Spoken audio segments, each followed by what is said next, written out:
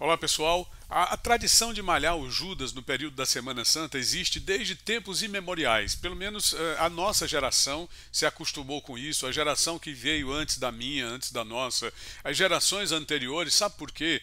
Porque essa é uma tradição que se repete desde a Idade Média e que veio aqui para o Brasil com os portugueses à época uh, da colonização do nosso país. Pois bem, nesta Semana Santa de 2023, de novo a malhação do Judas ela acontece no sábado de Aleluia, da sexta para o sábado.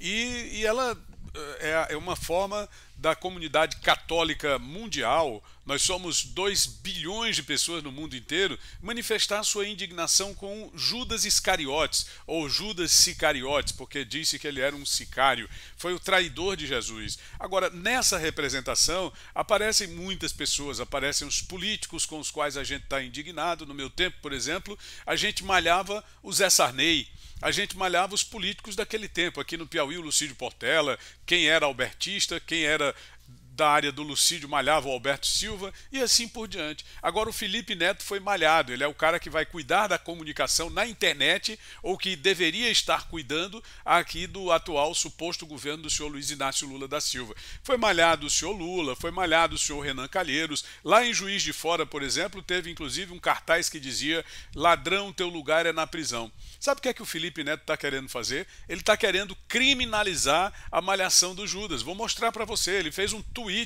dizendo isso, colocando claramente todo cheio de dedos, todo cheio de sofrimento, que está sendo alvo de muita perseguição, e não é um homem público, não é uma figura pública, embora dê opinião sobre todo mundo, fale de todo mundo, tenha construído sua carreira na internet atacando os outros, inclusive o próprio Lula, a quem ele chamou de ladrão, de irresponsável e tudo mais que se possa imaginar. Agora não pode dizer nada com ele, não pode fazer nada com ele, malhar o Judas se tornou para ele um crime. Segundo ele, isso sugere que as pessoas estão querendo matá-lo, estão querendo matar ao Lula, matar a outras pessoas aí desse, desse desgoverno que nós temos aqui no Brasil. O que mais essa figura uh, tétrica da vida da internet e da vida brasileira, porque se incorporou na vida brasileira através dos meios de comunicação que lhe dão todo o espaço, e, e inclusive do próprio governo suposto atual, que lhe dá todo o espaço para que ele possa direcionar o que pode e o que não pode ser dito na internet.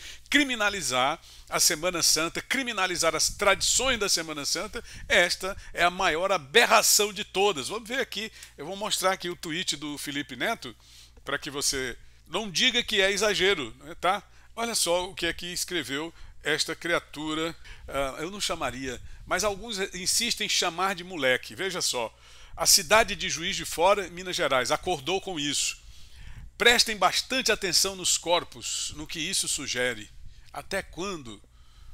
Os corpos são, são o Judas, né? E aí tem lá uma foto dele ele foi malhado como Judas, está indignado e acha que isso é um crime. É risível, tá? Mas é também inadmissível. Não se pode admitir, não se pode permitir que esse tipo de debate ganhe corpo, criminalizar as tradições da Semana Santa, que, que são coisas imemoriais para nós aqui no Brasil.